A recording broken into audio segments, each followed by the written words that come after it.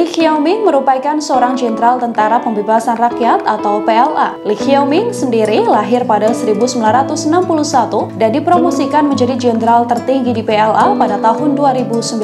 Tak hanya sebagai jenderal di PLA, Li Xiaoming juga menjadi anggota Komite Pusat Partai Komunis Cina atau PKC. Li telah dianggap sebagai pesaing sebagai anggota Komisi Militer Pusat Cina, yakni sebuah panel dengan otoritas atas keputusan militer. Media Nikel Asia melaporkan bahwa Wali menulis artikel yang selaras dengan Xi Jinping yang ingin meningkatkan kontrol Partai Komunis atas tentara. Dikutip dari media internasional Outlook India, kabar soal kudeta Xi Jinping ini muncul seusai adanya laporan penerbangan penumpang dibatalkan di sejumlah wilayah di Cina. Selain itu dilaporkan bahwa Xi Jinping juga sudah tidak terlihat di depan umum selama beberapa waktu hingga dikatakan dirinya sudah menjadi tahanan rumah.